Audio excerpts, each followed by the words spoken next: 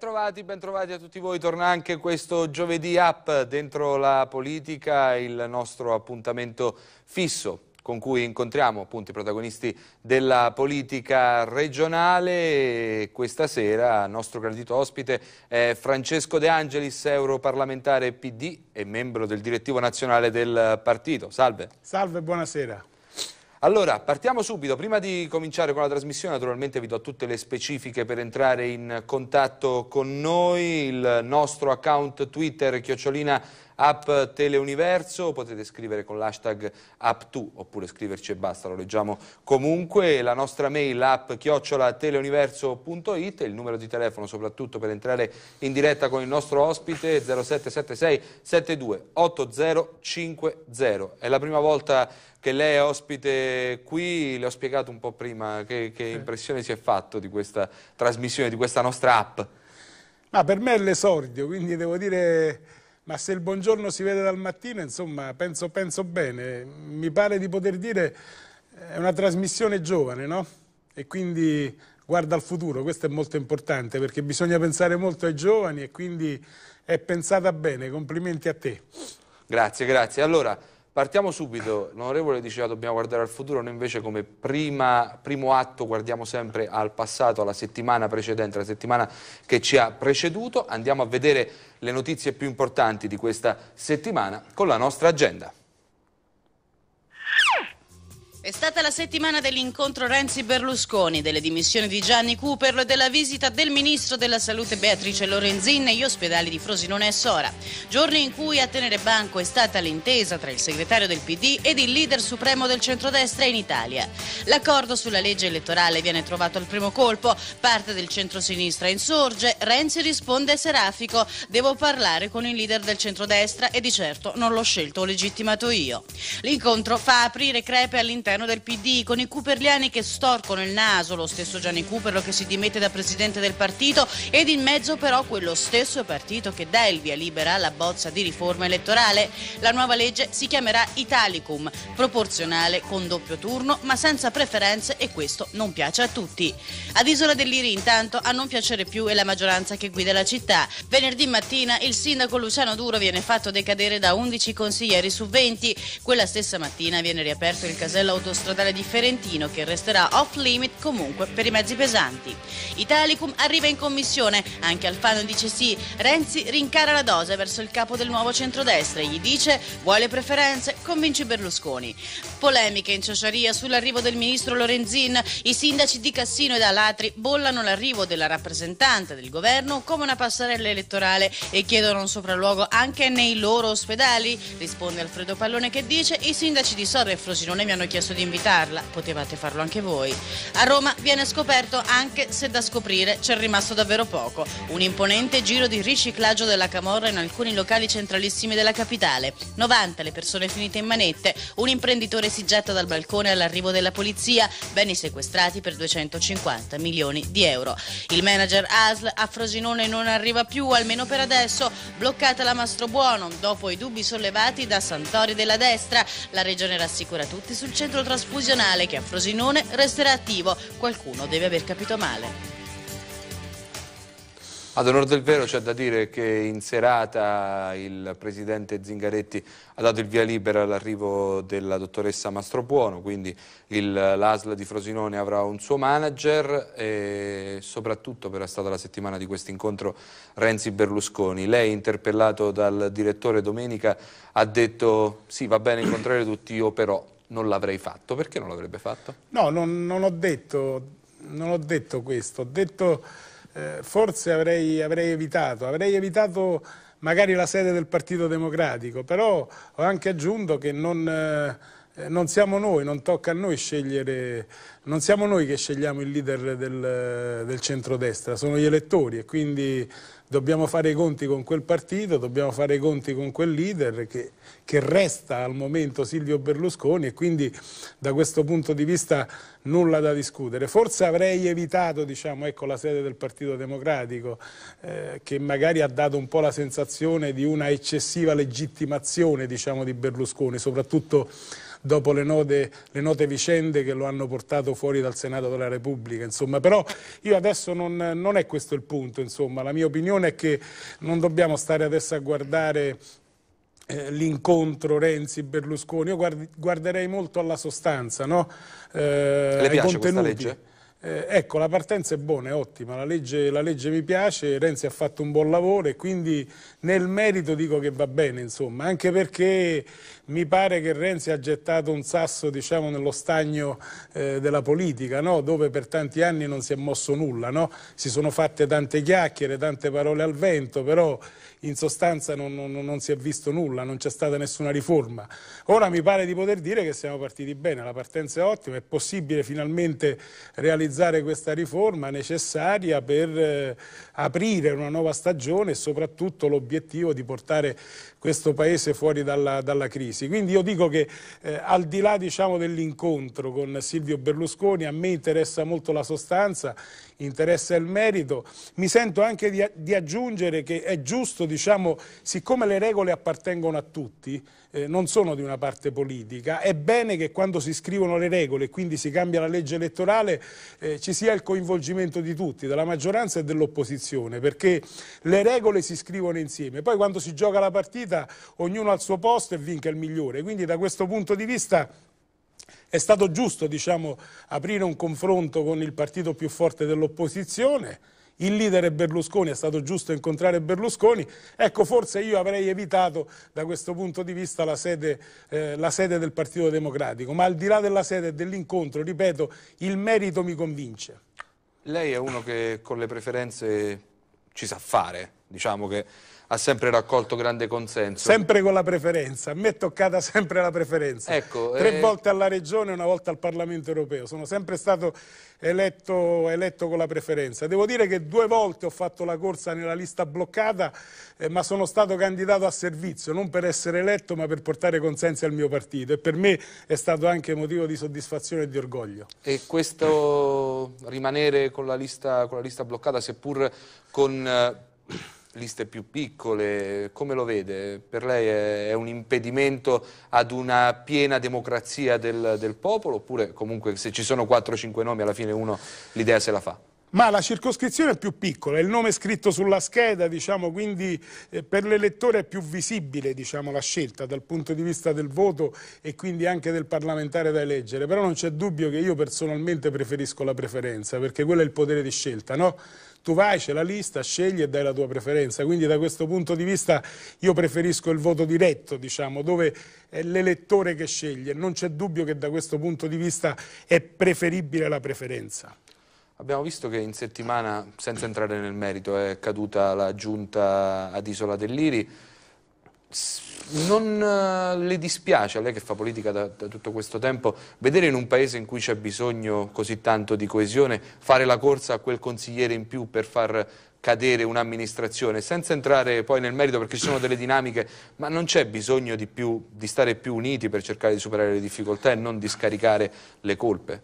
Ma questo mercato diciamo, al voto per mettere in discussione un'amministrazione comunale a me non ha mai convinto, insomma, non, non, mi ha mai convinto e non mi convince. Io eh, tutto il mio sostegno da questo punto di vista al sindaco Duro, alla sua amministrazione, sono convinto che gli elettori premieranno non chi eh, ha fatto cadere l'amministrazione, ma premieranno diciamo, l'ottimo lavoro del sindaco Duro e della sua amministrazione. Io preferisco la battaglia, diciamo, quella a viso aperto, non quella dove magari si cerca in maniera a volte anche sotterranea di carpire qualche consenso per mettere in difficoltà un'amministrazione comunale, perché quando il cittadino vota elegge il suo sindaco e quindi quando il sindaco è eletto, il sindaco bisogna lasciarlo governare per cinque anni, poi dopo cinque anni, quattro anni ci sono le elezioni e quindi chi vuole cambiare può cambiare, però, però è necessario soprattutto consentire in un momento di difficoltà e di crisi a chi ha vinto le elezioni di governare. Quindi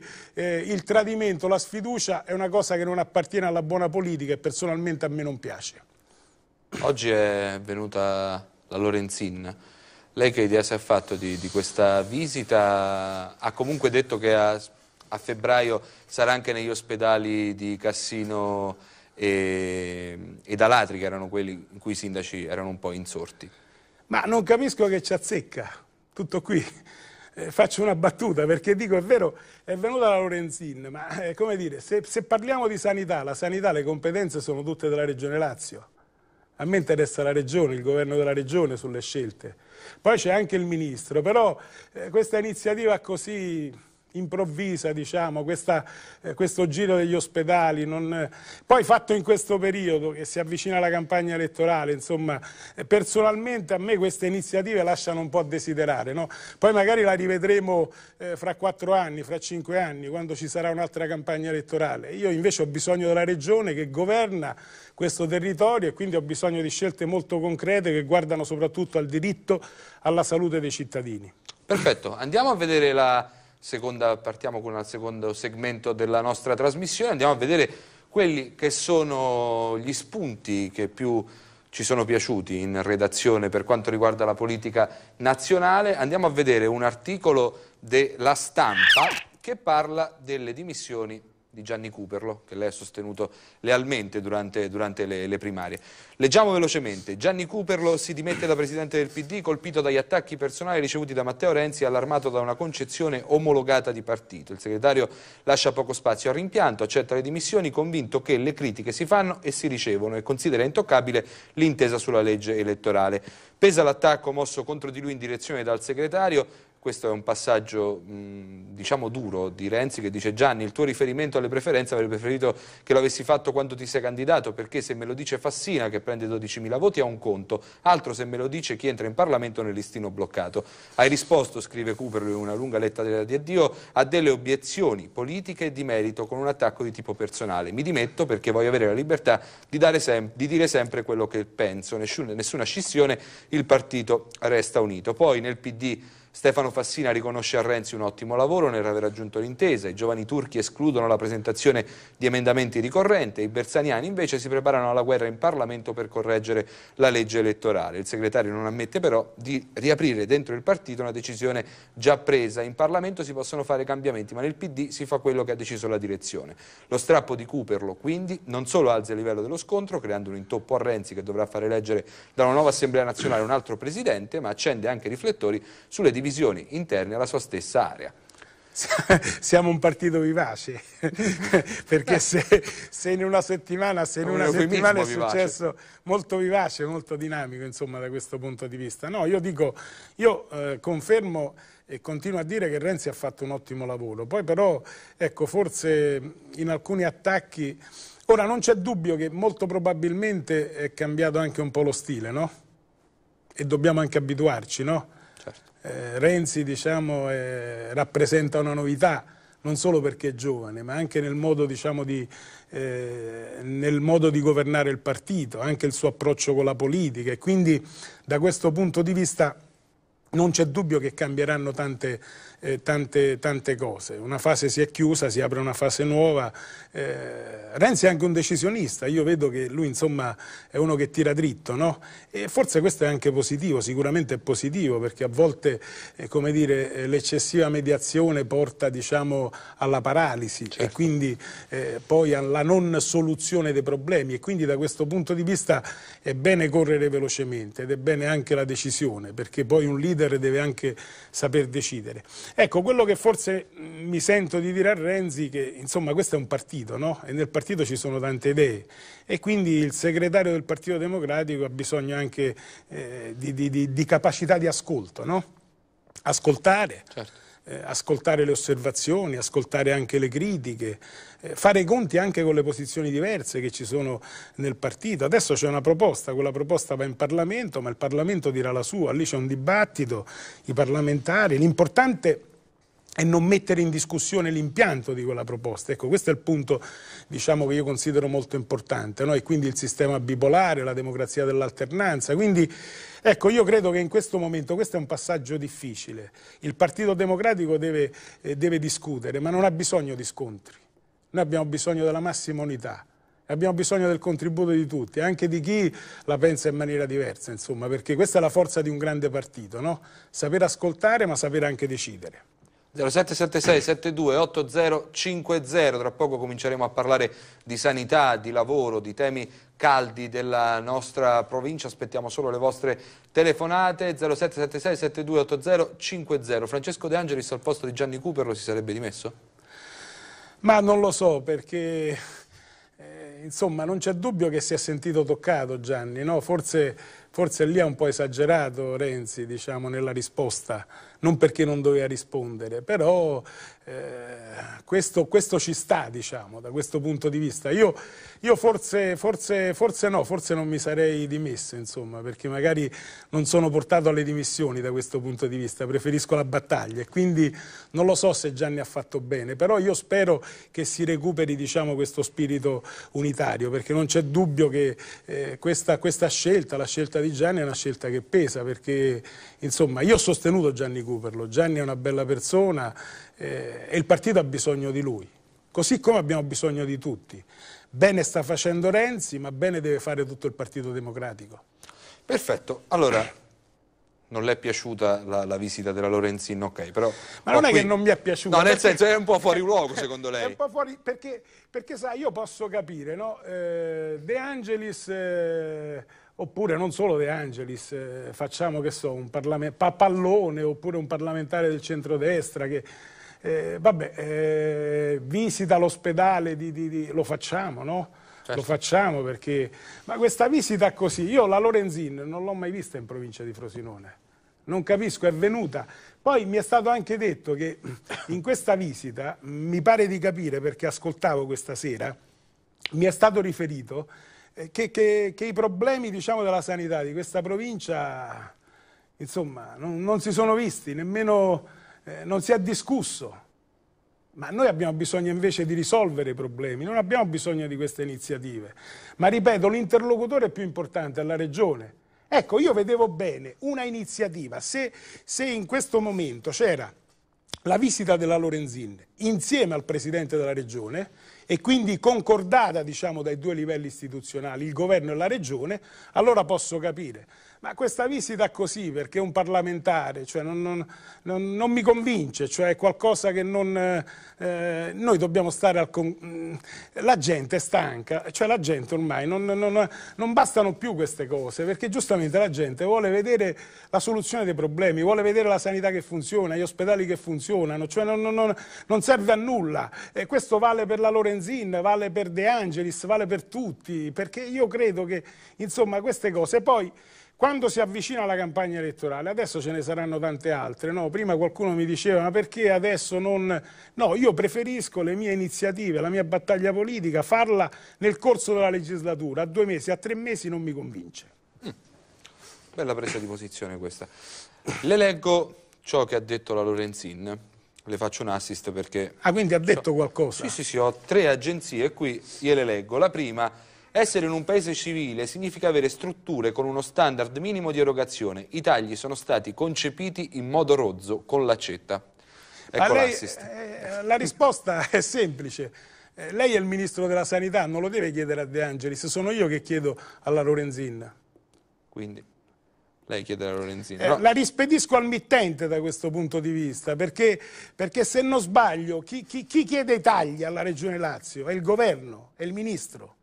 E quindi sono io che chiedo alla Lorenzin, perché chiedi alla Regione tagli? Oggi c'è anche da dire che si è avvicinata una, una signora che ha detto alla, al Ministro, io sono 12 ore che sono qui, che aspetto per essere curata dal, dal pronto soccorso. Sono questi i problemi veri. Ecco, questo è un problema vero, ma questo, il problema non riguarda la Lorenzin, riguarda i cittadini, questo è un problema vero, è il problema della signora. Anche a me è capitato di andare io sono stato recentemente, perché mia madre diciamo, è stata un periodo ricoverata in ospedale, e quella sera sono stato al pronto soccorso e ho trovato una situazione davvero difficile persino da raccontare da questo punto di vista. No? Sembrava quasi un paese del terzo mondo l'ospedale di Frosinone, no? la situazione del pronto soccorso di Frosinone, dove non c'è posto, no? e vedi questi lettini abbandonati lì nella corsia, questi pazienti e qualcuno che ti chiama e non... Ecco, questi sono i problemi che dobbiamo risolvere. Noi abbiamo realizzato una nuova struttura, una bella struttura. Abbiamo spese noi, il centro-sinistra, quando diciamo Io ricordo quel periodo, anche perché in quel periodo sono stato assessore regionale. Abbiamo realizzato in tempi record un ospedale, un ospedale moderno, una struttura, una bella struttura. Lo abbiamo fatto perché vogliamo, eh, come dire, una struttura efficiente. E quindi, eh, come dire, da questo punto di vista, quella situazione, diciamo, del pronto soccorso e quella situazione dei pazienti fa a pugni diciamo, con quella struttura. Quella struttura moderna non merita quella situazione e allora questo è un problema da risolvere. E su questo è d'accordo con la Lorenzin che ha detto la situazione dell'ospedale di Frosinone è paradossale, abbiamo una struttura bellissima ma manca il personale. In questo caso la Lorenzin, come rappresentante del governo, potrebbe intervenire per lo sblocco del turnover, che ricordiamolo, è quella, il blocco del turnover è quella norma, tra virgolette, che non permette di assumere nuovo, nuovo personale. Ci sono stati i ragazzi, studenti di infermieristica che hanno detto noi ci laureiamo, sì, e poi? Ma io, io, penso che la Lorenzin, se vuole, può fare qualcosa, può liberare, diciamo, eh, come dire, da questo punto di vista, può liberare delle risorse e può, come dire, eh, eh, consentire alla Regione di fare quelle operazioni che purtroppo oggi causa il deficit sanitario la Regione non riesce a fare. Quindi da questo punto di vista io ho apprezzato molto il lavoro di Nicola Zingaretti, sta facendo un grande lavoro. Quindi certo, lo promuove? Io sì, io penso che il lavoro di Nicola è un lavoro importantissimo, anche perché eh, è una svolta, no? Io, io, in questo lavoro ci vedo anche il segno del rinnovamento, del cambiamento, del modo anche nuovo di far politica, no? Aggredire problemi, cercare di risolvere problemi.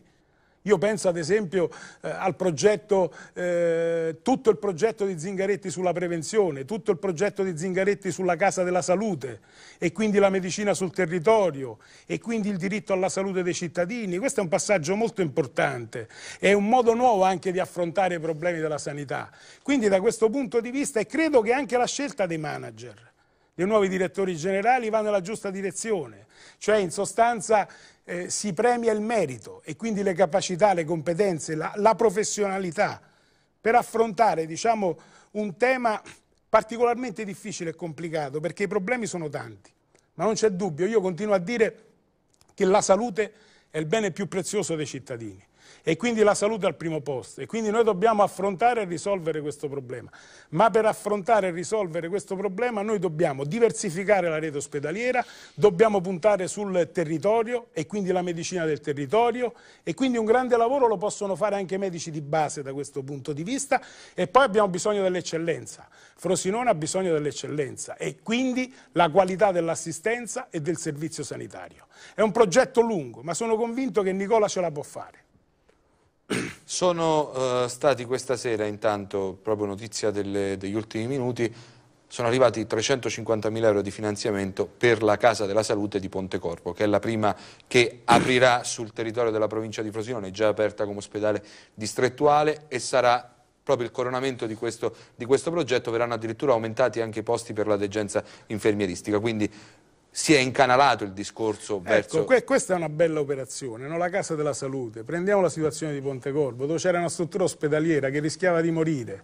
E invece questo progetto, il progetto eh, della Casa della Salute, rilancia quella struttura ospedaliera e allo stesso tempo consente di dare delle risposte ai cittadini. E soprattutto risponde diciamo, a quella domanda nuova anche di salute. E mi pare una risposta importante ed andrà a decongestionare il e pronto certo, soccorso di Cassino. E certo, diversificazione significa anche questo, perché a volte la risposta è sempre l'ospedale, ma non sempre l'ospedale. Ecco perché io penso ad esempio al rapporto molto stretto tra il territorio e quindi la medicina di base, i servizi ospedalieri. A volte capita che, come dire, i due livelli non si parlano e questo non aiuta e quindi da questo punto di vista c'è da cambiare molto. Ecco, io penso, e la, la semplifico, la dico in una battuta, la sanità ha bisogno di una rivoluzione.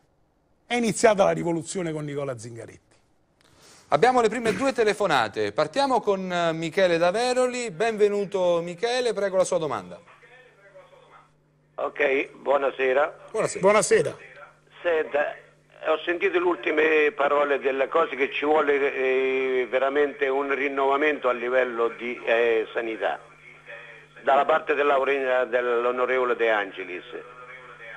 Ma io alcuni tempo fa, un'altra volta, già ne ho parlato, ancora all'ospedale doveva aprire l'ospedale di Frosinone e io gli dissi all'onorevole De Angelis, prima di aprire l'ospedale, se dovete portare tutto lo stesso personale, i dirigenti e tutti, fate prima a spallarlo, a buttarlo giù quell'ospedale, perché non è funzionante. E l'abbiamo visto oggi come oggi che nei pronto soccorsi c'è un sacco di gente buttata sulla barella.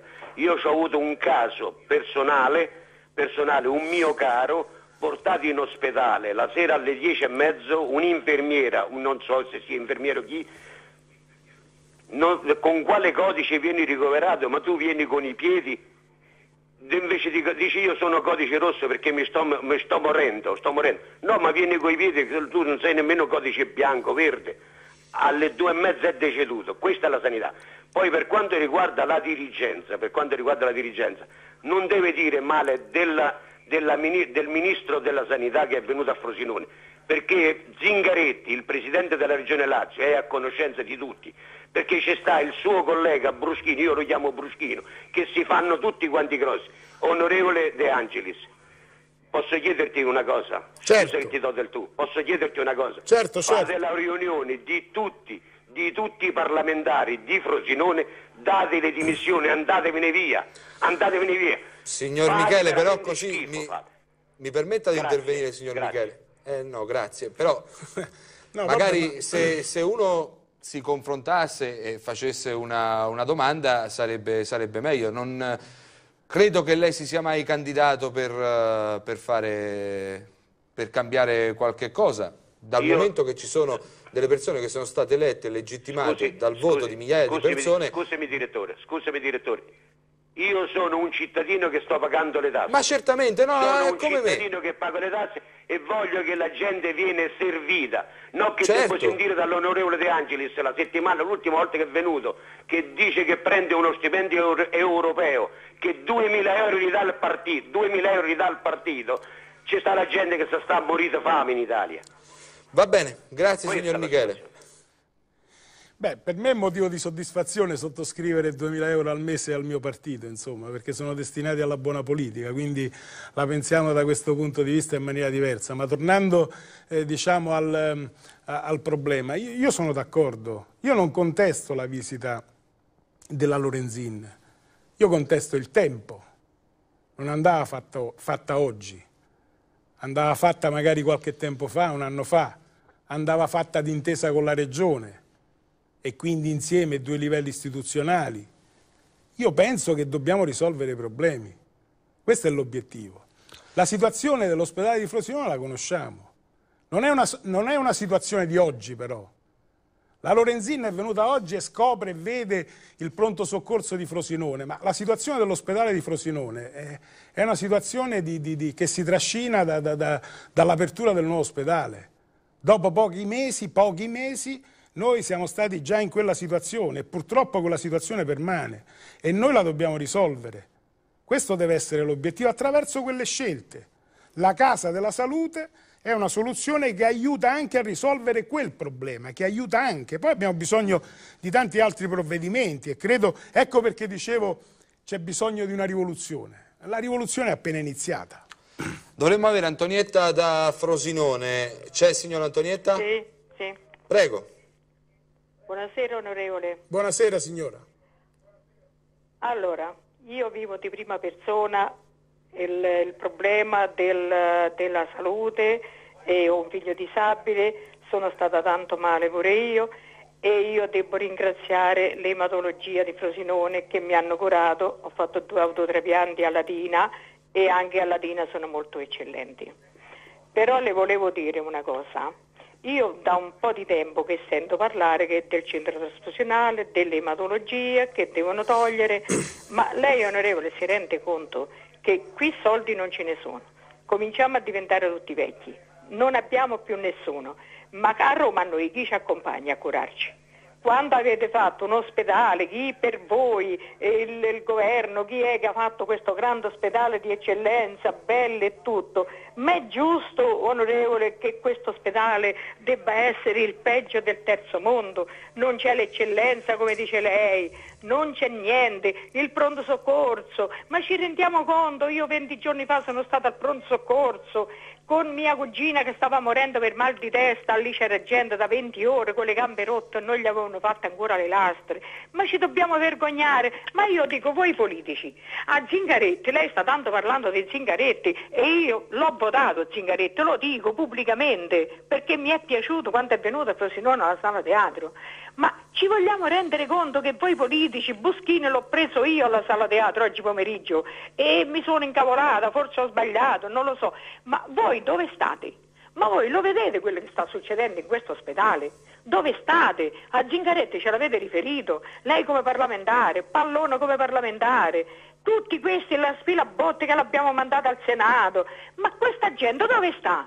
Gli occhi dove ce l'ha? Sono ciechi, sono sordi. La Lorenzina è venuta, sì, però Zingaretti non, nulla toglie che può venire.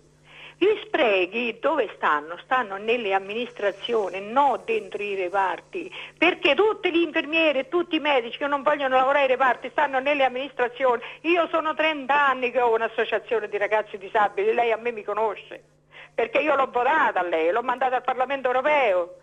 Ma lei a noi in cambio cosa ci sta dando?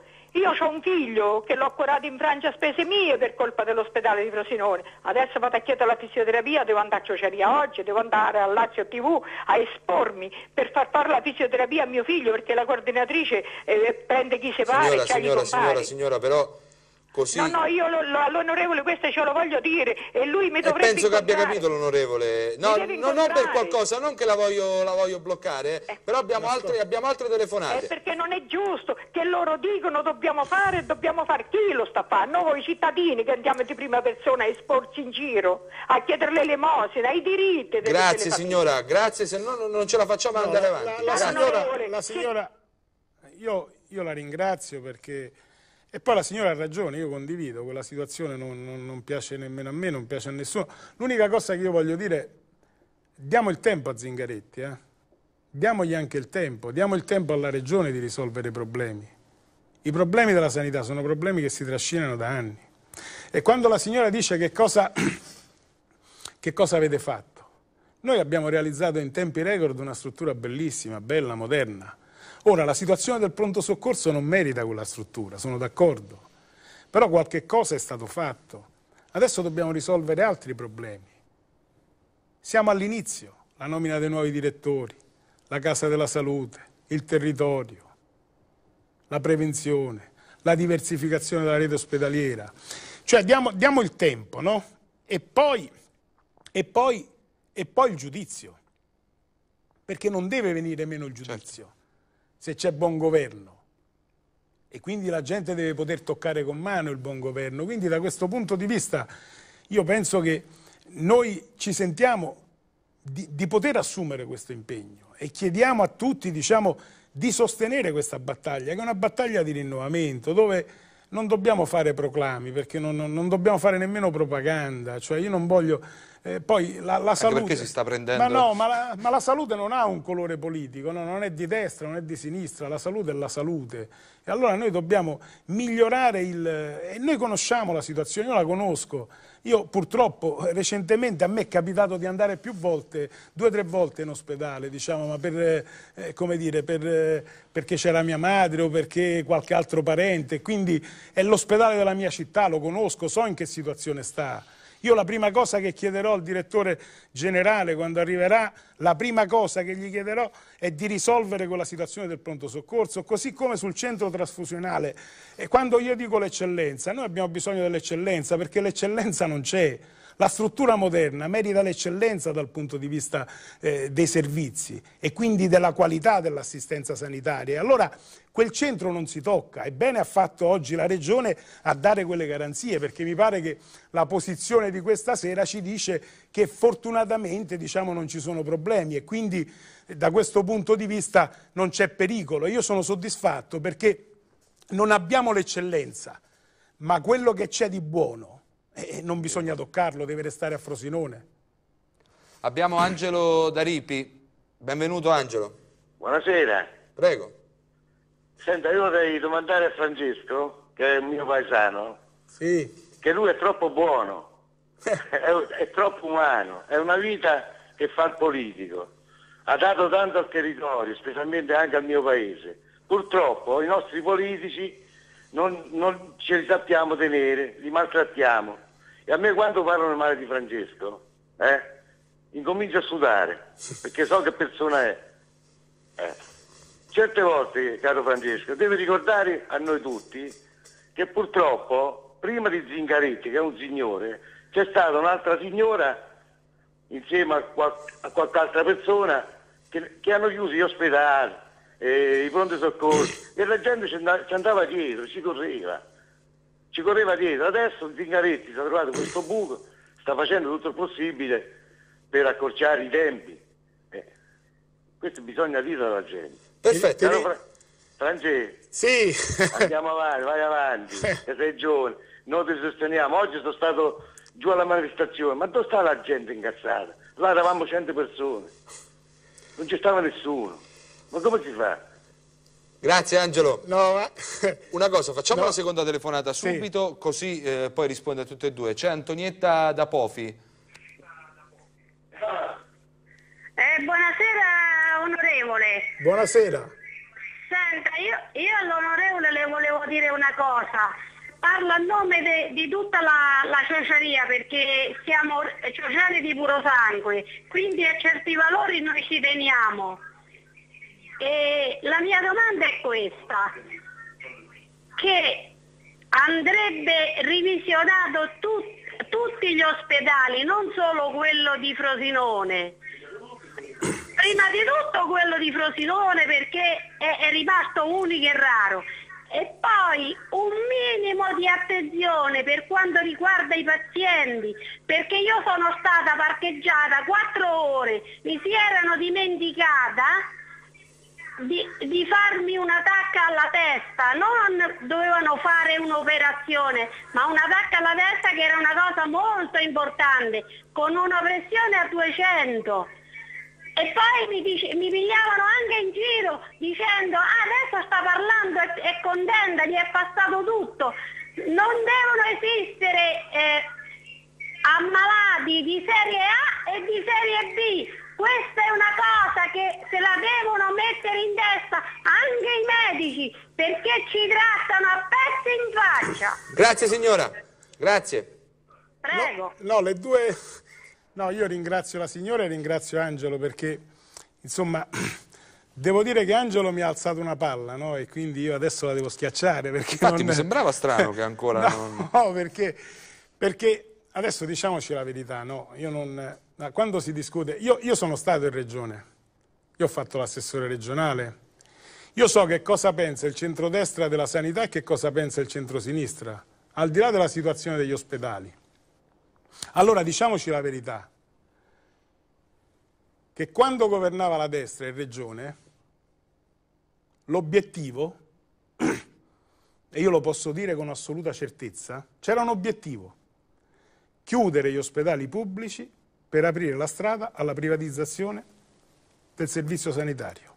Io quando sono diventato assessore, il primo provvedimento della giunta di centrosinistra di cui io ho fatto parte è stato il provvedimento che ha strappato la delibera con la quale il centrodestra voleva vendere l'ospedale di Alatri. E noi dobbiamo sapere queste cose. Ora è vero che la situazione è critica, la gente è portata a fare di tutta un'erba un fascio, ma non è così. I problemi ci sono, non sono risolti, alcuni sì, molti restano. Stiamo cercando di risolverli, però dobbiamo sapere che c'è una giunta che oggi governa la Regione Lazio che vuole difendere e valorizzare la sanità pubblica. Ed è stato sconfitto un disegno politico, il disegno della privatizzazione, per la stessa ragione che ci ricordava la signora, quando la signora dice per la sanità non ci sono i cittadini di serie A e i cittadini di serie B, non ci deve essere il portafoglio che fa la differenza. Dinanzi a quel problema siamo tutti uguali. E allora noi abbiamo bisogno di potenziare la sanità pubblica perché dobbiamo difendere per tutti il diritto alla salute. A me quando si dice ma i conti, il deficit, sì tutto vero ma fino ad un certo punto perché quando discutiamo di sanità eh, dobbiamo mettere da parte un attimino i conti perché a volte i conti possono portare anche il meno. L'importante è che però la sanità funzioni, perché ci sono dei servizi che sono servizi essenziali alla persona. E allora il diritto alla salute, il diritto all'istruzione, il diritto alla casa, il diritto alla mobilità, sono diritti che dobbiamo assicurare a tutti i cittadini. E quindi ecco, io farei attenzione da questo punto di vista, attenzione a non... Poi Angelo dice, per quello che mi riguarda i cittadini mi conoscono, io quando sono stato in regione basta chiedere ai sindaci di questa provincia quello che ho fatto per questo territorio e questa provincia, insomma, poi non lo devo dire io, perché poi se lo dico io è propaganda, Sembra. e allora io siccome la propaganda non lo voglio fare, eh, come dire, i risultati poi si vedono, no? si toccano con mano, e a volte quando si toccano con mano i risultati si vede anche la differenza, no? perché non è vero che tutti i governi sono uguali, una differenza c'è. Lei, tra le tante sue attività quando era alla Regione, c'è stata quella sicuramente importantissima della legge 46 sull'indotto sull Fiat. Oggi Fiat si ecco, mentre, mentre il centro, me lo faccia dire, mentre il centrodestra, quando ha governato la Regione, ha destinato a quella legge, la legge 46, 50.000 euro, 50.000, 50.000 euro, l'assessore regionale De Angelis quando stava alla regione, ha destinato a quella legge ha destinato a quella legge, la legge 46 per le piccole e medie imprese, per, per il lavoro, Fiat. per l'indotto Fiat, 55 milioni di euro, tutti spesi a sostegno delle imprese, delle infrastrutture, dei servizi e del lavoro. È una differenza, eh, però eh, non si può dire siamo tutti uguali, no, e questi sono numeri, eh. Da noi si dice carta canta, e carta canta. 50.000 e 50.000, 50 milioni sono 50 milioni e le strutture stanno lì, eh? I servizi, le infrastrutture alle imprese, il polo della logistica e dell'innovazione, i contributi alle piccole e medie imprese, il sostegno al lavoro e all'occupazione, stanno lì. Ecco, proprio in questo momento in cui Fiat si appresta, almeno nelle speranze ed in quelle che sono gli auspici di tutto il territorio, ma che traspaiono anche dalle parole di Marchionne, a vivere questo nuovo rinascimento Cassino come polo del rilancio di Alfa, di Alfa Romeo. Lei ci crede a queste parole di Marchionne? Io non abbasserei la guardia. Voglio essere... Eh, non dico che non credo, non credo alle parole di Marchionne, però dico che non dobbiamo abbassare la guardia perché la situazione è una situazione molto critica, noi dobbiamo chiedere alla Fiat, a Fiat, dobbiamo continuare a chiedere a Fiat eh, un impegno concreto per lo stabilimento. Lo dobbiamo fare perché noi abbiamo fatto molto per lo stabilimento Fiat. Io ho ricordato la 46. La 46 è stata pensata per sostenere Fiat, per sostenere il lavoro. Quindi la Fiat non può dire, non può dire le istituzioni non ci sono state in questi anni. No, ci siamo stati e abbiamo sostenuto la Fiat in un momento di difficoltà e di crisi. E adesso tocca alla Fiat, nel momento del rilancio, tocca alla Fiat investire su Cassino. E allora io dico, vanno bene le parole, però le parole devono seguire i fatti e siccome devono seguire i fatti, noi non dobbiamo abbassare la guardia. Dobbiamo continuare a chiedere ai vertici della Fiat un impegno concreto per lo stabilimento di Cassino. Per quanto riguarda invece l'accordo di programma, era partito in pompa magna questo nuovo, questo New Deal per il nord della provincia di Frosinone, adesso sembra essere un po' scemato l'interesse, a che punto siamo magari? Ma no, perché adesso magari siamo nella fase, diciamo, quella operativa, all'inizio l'inizio è stato diciamo, un inizio un po' con i fuochi d'artificio, no? perché non c'è dubbio, quando viene firmato l'accordo di programma si mettono in campo le risorse eh, per quella situazione di crisi della zona nord della provincia, vedi la video con vedi la Marangoni, insomma le, le situazioni sono tante. Ha ragione la signora, torno alla signora, quando dice non solo l'ospedale di Frosinone, ma quando io dico eh, ripensare la, la, rete ospedaliera e vuol dire che noi dobbiamo anche diversificare la rete ospedaliera e quando dico situazione, situazione industriale in provincia di Frosinone non penso solo alla Fiat, penso al, alla situazione di difficoltà di tante piccole e medie imprese, quindi da questo punto di vista adesso c'è quello strumento importante, l'accordo di programma. Ci crede? Sì, Non siamo fermi, si sta lavorando, la Regione sta lavorando. Adesso, adesso se ne parla poco perché siamo nella fase diciamo, di predisposizione, cioè degli strumenti necessari per poter mettere in campo i progetti e le risorse. Quindi da questo punto di vista credo che la Regione sta facendo un buon lavoro e saranno sicuramente risorse utili che devono servire a favorire investimenti che siano investimenti produttivi, cioè noi dobbiamo dare questi soldi per lo sviluppo e per il lavoro. O ci sono le condizioni dello sviluppo e del lavoro, oppure altrimenti questi soldi non... vanno spesi bene, questo è il punto. E adesso l'impegno della Regione è spendere bene queste, queste, risorse, perché le risorse non sono tante in questo periodo, sono poche e quelle poche che ci sono vanno spese bene, vanno spese per la ripresa economica. Allora, adesso andiamo a vedere un altro segmento della nostra trasmissione che è quello della domanda. Ogni settimana, onorevole, c'è una domanda che arriva da un rappresentante delle associazioni, del mondo culturale, dei sindacati e questa settimana è toccato al professor Pietro Alviti, eh, docente di scuola superiore ma anche esponente della diocesi di Frosinone Veroli. Amante della musica poi, no? Amante della musica. Ama molto. il coro, il coro di Ceccano.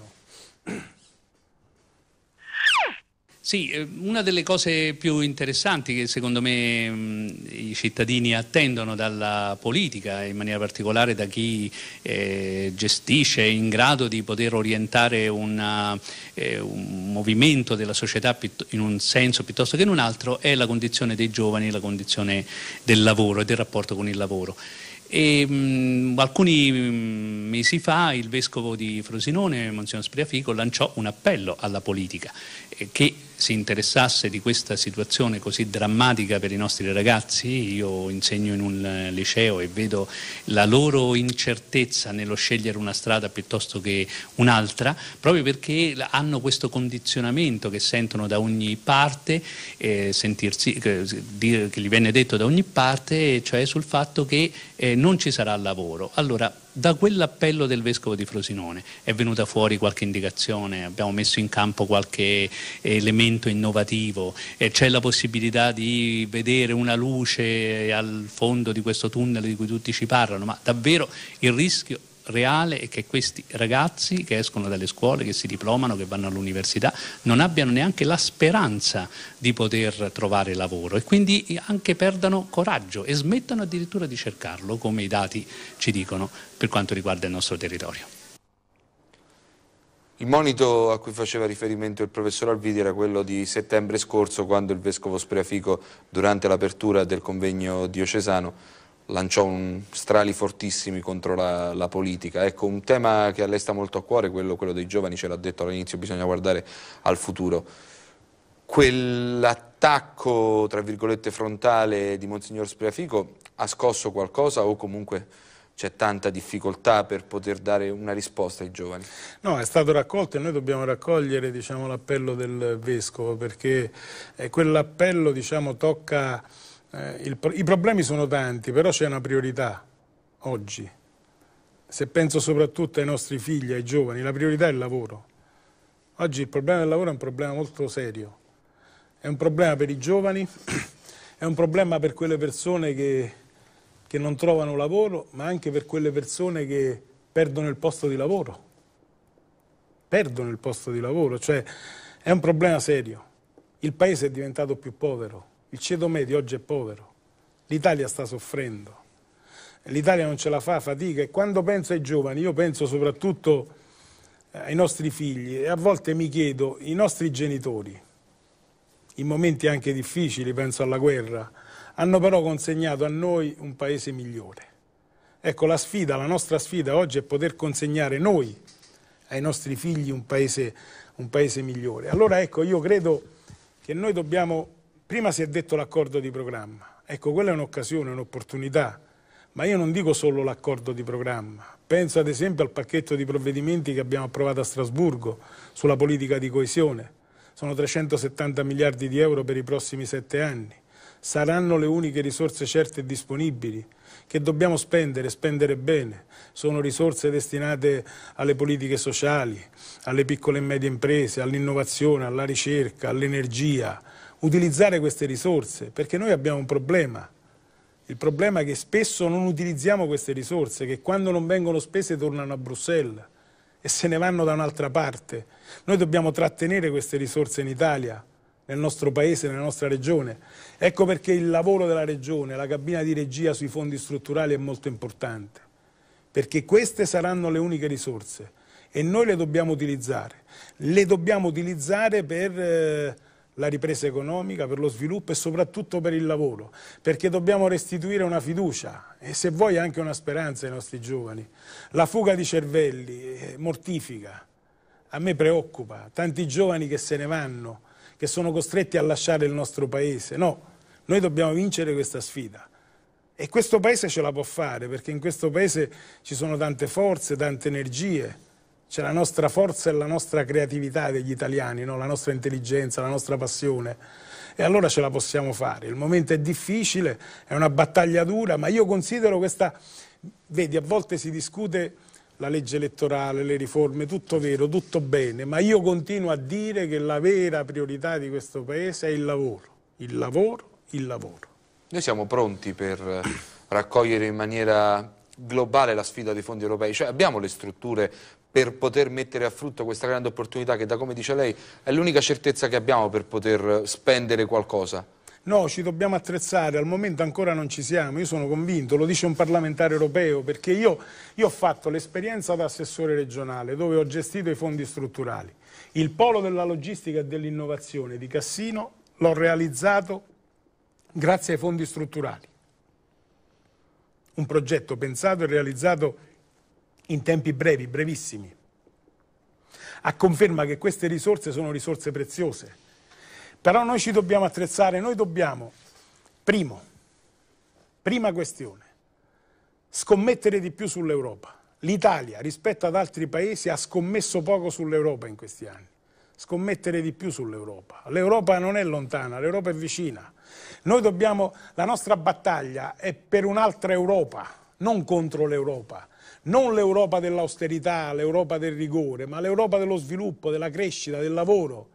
Questa è la sfida che noi dobbiamo vincere, quindi scommettere sull'Europa e mettere in campo gli strumenti giusti per utilizzare queste risorse e quindi una cabina di regia, progetti che siano progetti in sintonia con gli obiettivi dell'Europa, pensa agli obiettivi dell'Europa 2020. Noi dobbiamo, cioè se l'Europa investe in innovazione e ricerca, noi dobbiamo stare sull'innovazione e dobbiamo stare sulla ricerca. E quindi da questo punto di vista maggiore sintonia della nostra progettualità, la nostra, la progettualità del nostro Paese con i progetti dell'Europa e quindi programmazione e quindi progetti concreti e quindi investimenti produttivi e soprattutto strumenti. Ecco perché bene sta facendo in questi, in questi mesi la Regione che si sta attivando soprattutto sugli strumenti, gli strumenti necessari non solo per trattenere, ma per utilizzare e per spendere bene queste risorse. Lei è pronto a ricominciare l'avventura in Europa, a continuare l'avventura in Europa Ma io sono queste prossime europee? sono pronto, leggo ogni tanto su qualche giornale che io sono pronto, sono prontissimo, sono, no, no, no, non mi sono mai fermato, quindi da questo punto di vista sono in corsa già da tempo e quindi la, la, io non devo iniziare la campagna elettorale perché la, la campagna elettorale è il mio lavoro, è quello che ho fatto in questi anni quando si dice l'Europa, è vero, non ho fatto l'assessore, ho fatto altre cose. L'assessore regionale assumeva dei provvedimenti, diciamo, che andavano in una certa direzione. Il parlamentare europeo fa altre cose, ma io posso dire di due provvedimenti, ne ho fatti tanti, perché una volta è successo sempre in trasmissione che mi hanno detto ma solo due. No, ne ho fatti tanti, però non li posso raccontare tutti. Certo. Però racconto due provvedimenti molto importanti la direttiva sui ritardi di pagamento eh, alle imprese da parte della pubblica amministrazione, vedo che proprio oggi si discute della procedura di infrazione perché l'Italia continua sì. a non pagare, noi siamo maglia nera, ancora oggi veniamo dopo la Grecia e quindi da questo punto di vista quello è un problema, è un problema, è un problema vero perché eh, eh, noi dobbiamo eh, rispondere alla crisi delle piccole e medie imprese. Noi non siamo la Germania, noi non siamo il paese della grande industria, noi siamo il paese delle piccole e medie imprese che rappresentano la parte più dinamica del tessuto economico e produttivo del paese. Se fallisce il tessuto delle piccole e medie imprese, fallisce il paese, fallisce l'Italia. E questo è il primo provvedimento. Il secondo è quel provvedimento dei 370 miliardi. Io sono stato relatore sulla politica di coesione, sulle risorse che, che utilizzeremo nei prossimi sette anni. E ad esempio sono soddisfatto perché ho presentato un pacchetto di emendamenti che Strasburgo ha approvato sulla semplificazione, sullo snellimento, sulla facilità di accesso a queste risorse. Eh, tutti provvedimenti che vanno nella giusta direzione. Ecco, come utilizzare queste risorse, no? Un po' dobbiamo fare noi, un po' deve fare anche l'Europa e quindi da questo punto di vista io ho presentato diciamo, questo, eh, questo, pacchetto molto importante di provvedimenti che adesso aiuta e facilita l'utilizzo sia da parte della pubblica amministrazione ma anche da parte delle imprese di queste risorse. Quindi io, io sono pronto, insomma, adesso partirà la campagna elettorale, quando partirà io sono pronto per fare la mia corsa, i nastri di partenza e per dare tutto il mio contributo per il successo del mio partito, del Partito Democratico. Velocemente perché abbiamo una telefonata che attende spulciando sui siti internet anche a livello nazionale, soprattutto c'era un sito a livello nazionale, non mi ricordo quale, diceva tra quelli che devono tremare perché Renzi è rottamatore c'è anche Francesco De Angelis. Chi? Do, dove? Eh, non, non, ricordo, era un sito a livello nazionale, glielo farò, glielo farò avere. Lei ha questa, ha questa paura di essere rottamato? Ma no, perché se mi deve rottamare qualcuno ci penseranno gli elettori, insomma, non, io sarò candidato, siccome io non sono in una lista bloccata, non sono mai stato in una lista bloccata, io vengo eletto se i cittadini mi votano, se prendo le preferenze, io alle ultime elezioni europee ho preso circa 90.000 voti di preferenza, insomma, non sono pochi, non sono pochi 90.000, quindi saranno i cittadini a decidere da questo punto di vista. Perfetto, abbiamo Romelio. Ho capito bene il nome, Romelio? Io, io, sì, ho, il nome mio è Romelio. Prego, da Santa Maria delle Mole. Oh, dunque, volevo riferire questo, che questo onorevole molto brava, eh, è della sinistra, va bene? La polverina ha levato tutti i letti eh, in Italia, la polverina stava con Berlusconi, oh, ha, levato, ha levato l'ospedale, ha levato questo e quest'altro. Io mi ricordo che mia madre nel 1929 scoprì una medicina, la medicina che la muffa levava il graffio, giusto? Passo Flemingo si prende il, il foglio di mia madre e fa la penicillina. L'ha capito? Sì, sì. Oh, dunque, questo universo, l'universo, il Big Bang, non c'è mai eh, stato. ma se andiamo sul Big Bang, signor Romero, non finiamo più. Parlato, il Big Bang non c'è mai stato. Ah. L'universo sta sempre vuoto. Si deve sapere come è formato il Sole e le altre costellazioni. Questa Terra, sotto Mussolino, c'è stato sempre. Il Parlamento non c'è mai stato, è devastato da Mussolino fino ad oggi, perché il Parlamento tre, siete 30 milioni con la camicia bianca e 30 milioni pagano le tasse, quell'altro pagano le tasse dopo di quelli che rientrano come, come soldi loro. So grazie, grazie, grazie signor Romelio, abbiamo, abbiamo capito. Mm. Sì. Dunque, questo onorevole qui non è che fa politica, che può fare l'onorevole, io l'ho capito, però una persona per me è un signore, praticamente, Bene. personalmente. Ti ringrazio. Ha preso, allora, preso... allora non le frego niente della politica, però interesse dell'ospedale, ho capito bene. De, pers- noi abbiamo San Pietro che ha mille chiese, facciamo, facciamo eh, eh dividiamo queste chiese, facciamo appartamenti e facciamo dormire la gente. Perché a me si candidi, signor Romelio, Dico. si candidi perché ha delle idee sicuramente, sicuramente no, no, innova- è un'idea, sto scrivendo un libro, io sono un grande cantante. Bene, bene, eh, grazie, grazie signor Romelio, nella, grazie mille. Nelle sue parole però c'è, c'è, c'è un dato importante che noi non dobbiamo mai dimenticare, pensare agli ultimi, a quelli che non ce la fanno. Antonio da Villa Santa Lucia. Buonasera. Buonasera, Buonasera. Antonio. Sono, sono, onorato di parlare con Francesco De Angelis, sono di Villa Santa Lucia De Angelis. Ciao. Sono il paese di, di, anche di Michele Meta. Eh? Ah, di Michele, sì, eh, sì. Esatto e vole, vole, volevo... Ma viene, viene ogni tanto Michele a Villa, sì? Eh, viene sì, perché ancora c'è la mamma, però eh, sì, so, per, so. per, i troppi impegni che ha viene eh, so. di, a, a, a, due ore, un'ora, così è difficile pure salutare. Eh lo so, l'ho sentito oggi, l'ho sentito, infatti era in riunione. Sì, sì. Senti, io ti volevo porre una domanda. Il fatto del, della sanità, ci sono molte lacune, molti, molti immagini, però io penso che eh, il problema sta anche che molti dottori hanno gli studi privati. Allora, un povero mm, paziente malato, per essere ricoverato in ospedale, pure per avere più cura, deve andare per forza dentro a, a questi eh, studi privati, perché devono pagare.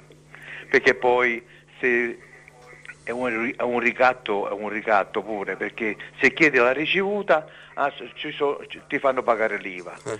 E quindi è, uno, è una... Um, è un'ingiustizia. Non dovrebbe essere chiesta la ricevuta, quello, quello è il problema signor Antonio, dovrebbero farla in uh, maniera automatica o no? D'obbligo. D'accordo, d'accordo, però purtroppo ci marciano sopra, ah, questo sì, è il male. E poi non tutti, uno eh? che ha il male, eh, pazienza. No, non tutti. Non tutti però, signor Antonio, eh, non, non, facciamo poi come quelli che telefonano e dicono che i politici sono tutti uguali. No, tutti... no, no, no, no, no, no, no. C'è qualcuno che fa il furbetto no, e poi alla fine viene beccato e paga. Però, stiamo, stiamo, per chiudere, se fa eh, la domanda, signor, ecco, signor eh, Antonio... Dicevo, la proposta di legge quando stava Prodi che i dottori dovevano dichiarare o lavorare in struttura pubblica o privata, quella dovrebbe essere ripresa e, studiata ancora e, porre a questi dottori, perché non è possibile che i dottori lavorano in ospedale e poi hanno lo studio privato, qui fanno una mercanzia e non va bene, non va bene questa cosa, questo volevo dire. Perfetto, grazie, grazie, grazie signor grazie. Antonio. Grazie davvero. Noi dobbiamo rendere competitivo il sistema sanitario e quindi da questo punto di vista quando si pensa alla sanità pubblica eh, noi dobbiamo mettere al primo posto eh, la sanità pubblica, il servizio sanitario pubblico e quindi eh, accettare la sfida perché il pubblico e il privato si possono anche integrare, però eh, è prioritario il servizio sanitario pubblico. E questo deve valere per tutti, deve valere per la politica, deve valere anche per i medici. Anche i medici devono sapere. Perché noi quando discutiamo di sanità, anche questa sera, no, tante domande, tutte sulla sanità, eh, sono la conferma che è un problema molto, ma molto sentito dai cittadini che presenta tanti problemi, non solo perché presenta tanti problemi, perché la sanità è la sanità, la sanità è la nostra salute. Ecco perché io dico la salute del cittadino al primo posto. Ecco perché allora noi dobbiamo eh, da questo punto di vista fare, fare, un grande lavoro. Ora nessuno ha la bacchetta magica, eh? Cioè io non penso a chi dice adesso arrivo io e risolvo tutti i problemi, no, sono problemi che, che, che, che ci sono da anni certo. insomma e che noi discutiamo. Io penso ad esempio, questa sera si è detto della situazione del pronto soccorso, perché? Quando devi fare una visita e a volte devi aspettare due mesi, tre mesi, quattro mesi, cinque mesi l'accettazione di quella visita e poi non puoi aspettare e poi sei costretto ad andare dal privato. È questa la sanità che dobbiamo cambiare. Questo significa rimettere al centro la sanità pubblica. Allora, con questa rivoluzione, diciamo, e con questi segnali, che sono segnali importanti, che vanno nella giusta direzione, io credo che chi oggi governa la Regione ha il tempo sufficiente in questi cinque anni per cambiare la sanità e rimettere al centro, perché noi, quando discutiamo di sanità, dobbiamo rimettere al centro il cittadino, l'utente, il paziente, cioè, noi per capire se la sanità funziona, oh, noi dobbiamo, eh, quando vai all'ospedale di Frosinone, entri e vedi il pronto soccorso, eh, basta quello per eh, dire se funziona o non funziona. Noi dobbiamo migliorare non solo la qualità, ma anche l'efficienza del servizio sanitario pubblico. Questa è la sfida ed è una sfida che dobbiamo vincere. Prima di chiudere, eh, perché lei è qui, a, su un'altra televisione c'era Letta e ah. ha detto No alle liste bloccate, i cittadini devono scegliere i loro rappresentanti. Sette minuti fa l'ho detto. E sono in sintonia allora con il Presidente del Consiglio. Ah, l'ho beccata. Penso, anche perché... Ma poi posso dire una cosa? Sì, velocissimo se no ci sfumano. Eh, eh, è più bello essere eletti con la preferenza per una ragione molto semplice, perché quando sei eletto in una lista bloccata non fai nemmeno la campagna elettorale, che gusto ci prendi? Invece essere eletto e poter dire io sono stato eletto perché mi hanno votato 20.000, 30.000, 80.000 cittadini e quello ti dà più forza, sei più forte. E, noi, e questo è il modo anche migliore per restituire fiducia, fiducia alla politica e ricostruire anche quel rapporto che si è spezzato tra i cittadini e la politica e i cittadini e i partiti, quindi più potere di scelta alla gente gente. Perfetto, grazie, grazie davvero onorevole, è stato grazie, bene? Grazie a voi, benissimo, eh, devo dire è stata veloce, anche interessante e poi serve soprattutto capacità di ascolto. Io ho sentito tutti questa sera, anche le critiche, e un buon politico deve ascoltare e fare tesoro anche delle critiche. Grazie, grazie a tutti voi a casa soprattutto e noi ci vediamo la settimana prossima sempre con App. Buonasera.